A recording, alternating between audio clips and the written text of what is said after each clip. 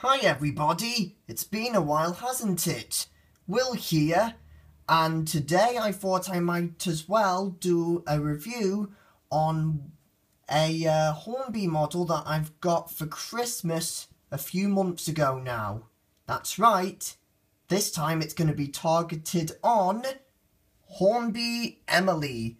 Yep, that's who I'm reviewing today. Now, Emily was first introduced in Thomas and Friends Season 7, which we already know but by now. And she is a, a beautiful steam locomotive or character, whatever you want to call her. And she's re really, really well detailed. I really, really love this model. So now I'm going to go on to the many details on this model as I can.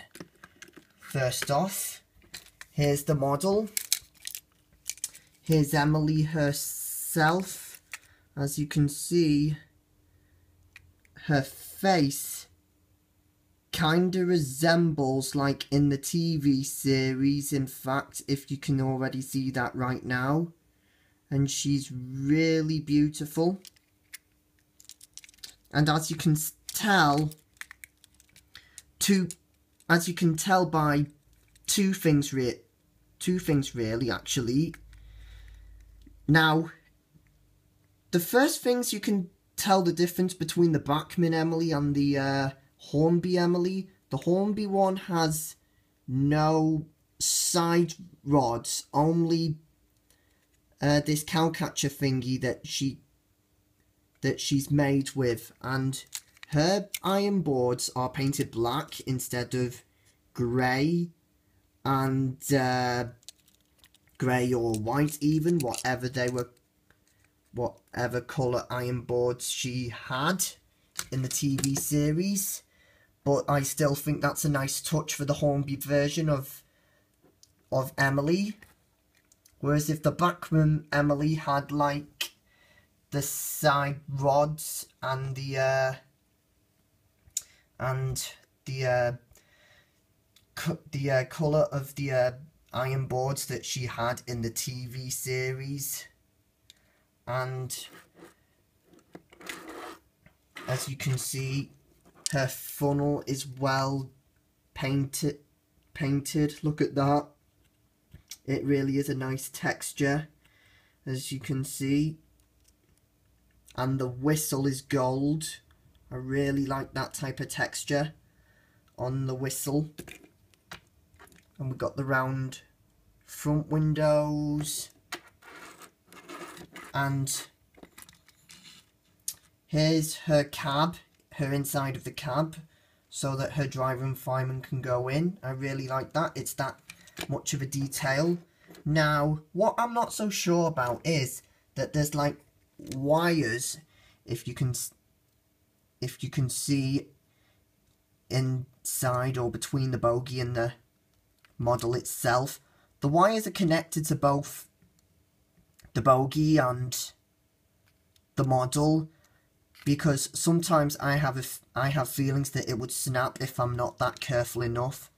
So yeah I I I think you guys get the point you have to be careful whilst looking after this model and giving giving this Hornby Emily a run. And her coupling, her tender coupling,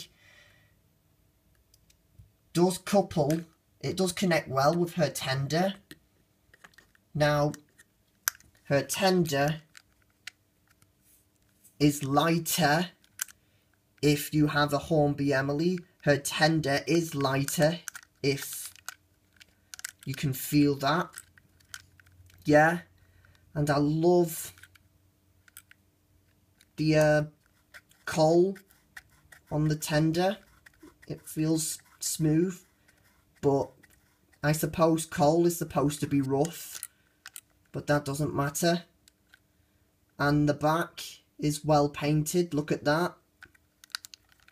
And the squares, the yellow squares, are mainly detailed and the gold pipes on well don't know if it's a uh, pipe or railing whatever you want to call it but this looks well painted. And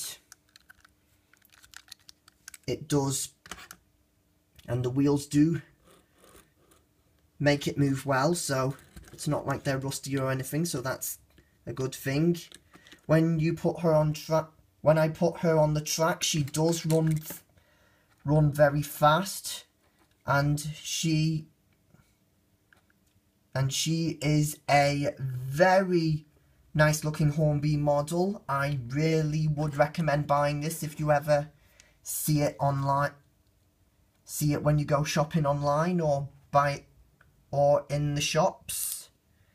Like I said in, in one of my Christmas videos, this one didn't come in like one of the Hornby packages, just in a uh, small box, which I you guys might not already know, but she did come in a small box with maybe with some bubble wrap or newspaper, whatever else it came, else she came with.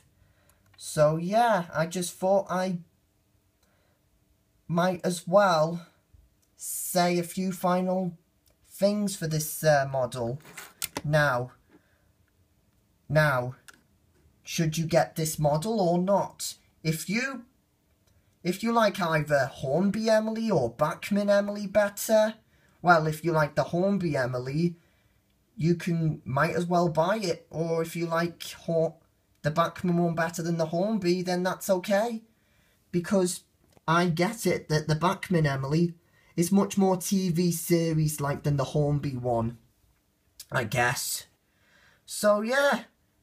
Oh, and uh, just to let you guys know, it's my, it's been eight years since I was on YouTube, so I, so, at the beginning I was thinking of uh, this video being a tribute of eight years of my YouTube career, so I'm very, I was very happy to think about it, since I haven't made a video in a month, so this is Will signing out, and I hope you all have a nice day, and goodbye.